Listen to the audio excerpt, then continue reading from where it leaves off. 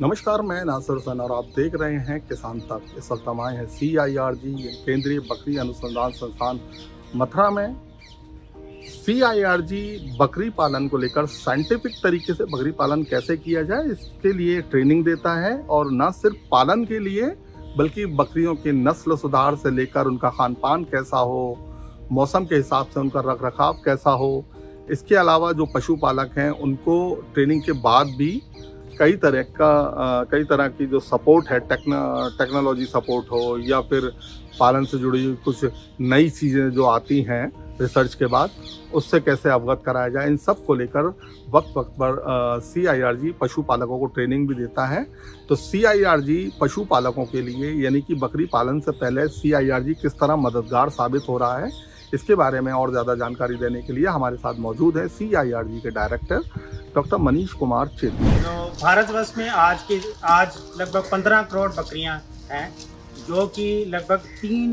Point तीन करोड़ किसान जिनको पालते हैं, और ये लगभग सत्ताईस प्रतिशत टोटल जो हमारा लाइफ स्टॉक सेक्टर है, उसको उसको भ्रमित करती हैं। तो इसमें जो हमारे इस बकरी पालन के क्षेत्र के अंदर अभी तक जो लघु और सीमांत किसान ज़्यादा जुड़े हुए थे, जो कि छोटे छोटे समय लेवल पे इस पर काम करते थे, जिसमें कि वो तीन से पाँच बकरियाँ एक समय पे पालते थे। परंतु अब कुछ समय से जो बकरी की उपयोगिता के बारे में सभी लोगों को पता लगा है, इसकी दूध की मांग बढ़ी है, इसकी मीट की मांग बढ़ी है और और इसका जो प्राइस है वो भी बढ़ रहा है दोनों चीज़ों का। इस वजह से इसमें कई जो कमर्शियल गोट फार्मर्स हैं, जो कि इसे ऑर्गेनाइज ढंग से करना चाह रहे हैं, वो बढ़ रहे हैं। इसी को देखते हुए केंद्रीय बकरी अनुसंधान संस्थान मखदूम, जो कि पिछले 43 वर्षों से किसानों के लिए कार्य कर रहा है तो उसने वो लगातार इसके लिए कई सारे ट्रेनिंग प्रोग्राम ऑर्गेनाइज करता है। एक हमारा national scientific goat farming training program है, जिसके अंदर हम लोग उनको सभी एंगल से ट्रेनिंग के दिया जाता है कि कैसे बकरी का रख रखाव रखना है, कैसे उसका आवास के बारे में जानकारी दी जाती है, उसके, फिर उसके आहार के बारे में बताया जाता है। ये सबसे जो इम्पोर्टेंट चीज़ होती है कि गोट का स्वास्थ्य उसके बारे में उनको जानकारी जैसे दी जाती है। फिर आपको कौन सी नस्ल की सिलेक्शन करनी चाहिए, कौन से क्षेत्र में कौन सी नस्ल रखनी है, उसके नस्ल सुधार और संवर्धन के बारे में जानकारी दी जाती है। और अंत में जो आपके प्रोडक्ट आते हैं, कि मिल्क आ रहा है मीट आ रहा है, उसको हम कैसे, उसका उसको कैसे मार्केटिंग करें, उसके बारे में भी जानकारी दी जाती है। तो ये जो हमारा एक national scientific goat farming training program है, ये लगभग सात दिन का प्रोग्राम होता है, जिसके जिसके हम लोग सर्टिफिकेट कोर्स कहते हैं। इस सर्टिफिकेट को मिलने के बाद ये सारे नेशनल लाइफ स्टॉक मिशन और जो इसी के अंतर्गत आपको कोई लोन लेना है, बैंक से कोई लेन लेना है तो रीजनल रूरल बैंक के अंदर लोन लेना है या नाबार्ड के अंदर कोई स्कीम है, उसके अंदर करना है तो आप उसके लिए एलिजिबल होते हैं। इसके अलावा हम लोग कई स्पेशलाइज ट्रेनिंग प्रोग्राम भी कंडक्ट करते हैं समय समय पर जैसे कि कोई इसको एक बिज़नेस मॉडल की तरह लेना चाह रहा है, उसमें वो चाहता है कि मैं इसके जो पशु का आहार है, उसके ऊपर मैं काम करूँ, उसकी जो स्पेशल पैलेट फीडिंग है, उसके बारे में वो, उसका प्रोडक्शन यूनिट लगाऊँ। तो हम लोग एक फ़ीड एंड प्रोडक्ट जो उसके ऊपर एक हम, एक सेपरेट ट्रेनिंग प्रोग्राम ऑर्गेनाइज करते हैं। ऐसी जो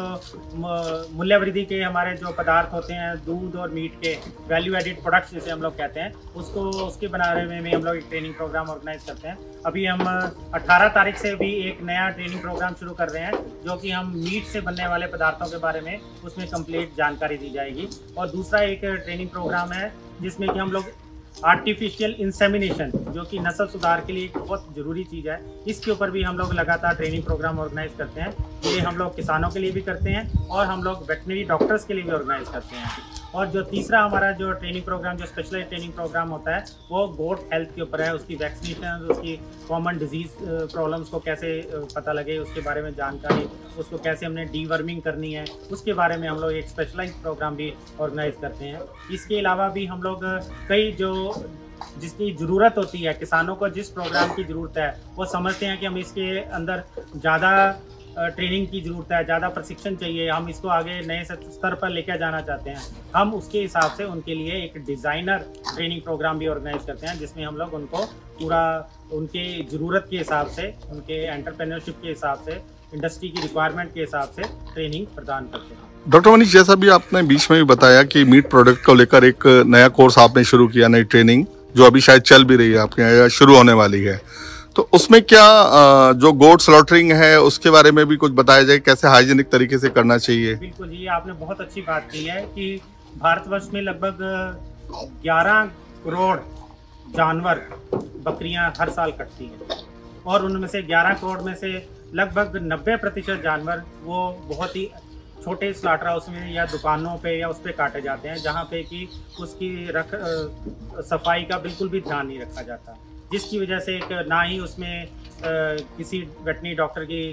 हेल्प ली जाती है ताकि उसका एंटीमार्टम और पोस्टमार्टम हो सके या उसके बारे में जानकारी मिल सके। और हमारा जो मीट हम पैदा कर रहे हैं, वो खाने के लिए स्वस्थ है कि नहीं मीट उसके बारे में जानकारी होती इन सबको देखते हुए हम लोगों ने इसके ऊपर एक बहुत अच्छा प्रोग्राम भी ऑर्गेनाइज किया है कि हम लोग बुचर्स की ट्रेनिंग करा रहे हैं। एक हम लोग, और उसके अलावा हम लोग एक मास्टर ट्रेनिंग प्रोग्राम भी हमने शुरू किया है, जिसमें हमने वेटनरी डॉक्टर्स को हम लोग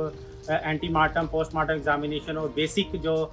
हाइजीन को रखने के लिए क्या क्या ज़रूरतें हैं उसके बारे में हम लोग उनको ट्रेनिंग देते हैं। तो और हम अपनी तरफ़ से ये पूरी कोशिश करना चाहते हैं कि ये जो आगे वो ट्रेनिंग के बाद जाएँ और, और साफ़ सुथरा मीट पैदा करें। और इसमें हमने ट्रेनिंग में हम लोग ये ट्रेनिंग प्रोग्राम हम लोग अपने S C S T program जो कि एक प्रोग्राम चल रहे हैं, उसके अंदर हम लोग उनके लिए बिल्कुल फ्री ऑफ़ कॉस्ट कर रहे हैं। और जो एस सी हमारे और एस टी जितने भी हमारे किसान भाई या छोटे एंटरप्रेन्योर्स हैं, वो इसको करना चाहते हैं, उनको हम लोग इसमें एक किट भी प्रदान करते हैं, जिसमें कि वो गम बूट और ग्लव्स वगैरह होते हैं, ताकि वो साफ़ सुथरे ढंग से मीट के स्टार्टिंग के टाइम पे काम कर सकें। और उनको उसमें चाकू भी दिया जाता है नाइफ भी दिया जाता है, और दूसरी जो उनकी ज़रूरत की चीज़ें हैं, वो सारी हम लोग उनको प्रोवाइड करते हैं। तो देखा दर्शकों, आपने कि किस तरह से सी आई आर जी ट्रेनिंग के बाद भी अपने पशुपालकों की हर तरह से मदद करता है? चाहे वो टेक्नोलॉजी की बात हो या पशुपालन में कोई नई चीज़ जो शामिल हुई है, उसकी बात हो, हर वक्त बारह महीने और 24 घंटे कहें कि इसके लिए जी ने हेल्पलाइन नंबर भी जारी किया हुआ है अपना, जो पशुपालकों के लिए 24 घंटे खुला रहता है, वो किसी भी तरह की जानकारी यहाँ से ले सकते हैं। ट्रेनिंग से जुड़ी और पालन से जुड़ी हुई भी। तो इसी तरह की और वीडियो देखने के लिए आप हमारे साथ बने रहें किसान तक पर। अगर ये वीडियो आपको पसंद आया है तो इसे लाइक ज़रूर करें। अगर चैनल अभी तक सब्सक्राइब नहीं किया है तो कर लें और नोटिफिकेशन पाने के लिए बेल आइकन भी दबा दें।